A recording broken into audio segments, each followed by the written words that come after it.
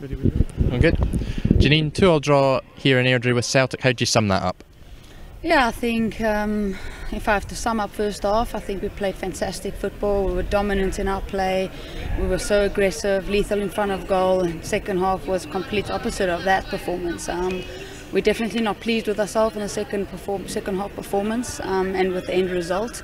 We know we as a team we, we have we need to demand a lot a lot better of ourselves.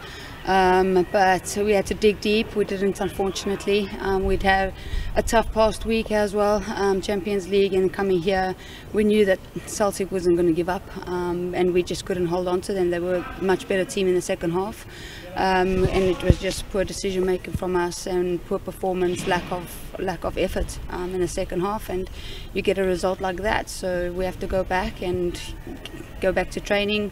Um, some girls are going away on international break, um, and when we come back, everyone returns. We need, um, you know, demand that high standards of each other once again. Obviously, the Celtic scoring the two goals to make it two all.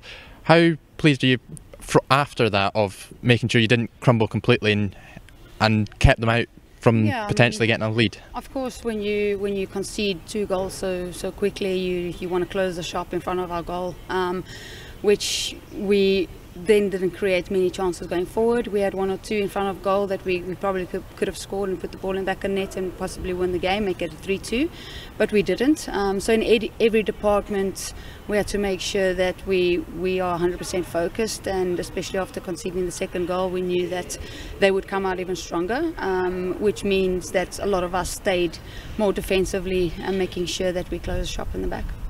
Okay, cheers. Thanks, Janine. Thank you.